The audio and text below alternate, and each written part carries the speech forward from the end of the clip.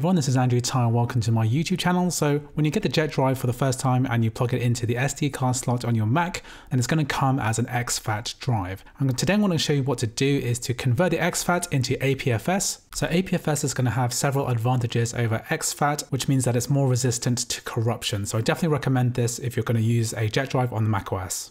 So if you haven't subscribed already, then please consider pressing the subscribe button. It only takes a moment and you'll be able to keep up to date with the latest Mac tutorials. So when we insert the JetDrive 330, we're going to have this transcend icon turn up on your desktop by default. You can also see it in Finder. If you go and scroll down on the left sidebar, you'll see the JetDrive mounted here. And if we control click and press get info, then you'll see that this drive has been formatted as exFAT. However, this does not take advantage of the Mac's hardware and it does not have journaling. It's more likely for data to be corrupted. So what I would advise most people to do is to format this card into APFS. What you need to do is go to Spotlight, type in disk utility. You're going to see the transcend drive here. In order to format this into APFS, we're going to click on view, click on show all devices. And then what we want to do is to select the entire reader here. We're going to press the erase button here. Within formatting, we don't have this APFS option. Then you need to change the scheme from master boot record to GUID partition map. Then we're to have the option here to select the format APFS and then click erase.